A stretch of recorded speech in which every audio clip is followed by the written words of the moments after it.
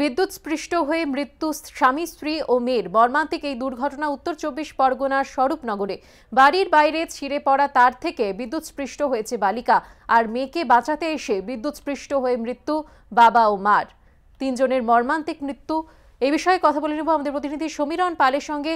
সমীরণ কি জানা যাচ্ছে? ঠিক কি ঘটেছিল? কীভাবে এই ঘটনা ঘটলো? দেখো সুপর্ণা আজকে সকালবেলা স্বরূপনগর থানার গাবর্তে এলাকায় তনুশ্রী চট্টোপাধ্যায় দশ বছর বয়স। এই কিশোরী যখন বাড়ি থেকে বেরোয়, সেই সময় বাড়ির বাইরে একটি বিদ্যুতের তার পড়েছিল এবং সেটাতে হাত দেওয়ার পর সে চিৎকার করে তারপরে তার মা চট্ট- চট্টোপাধ্যায় তিনি বেরিয়ে আসেন।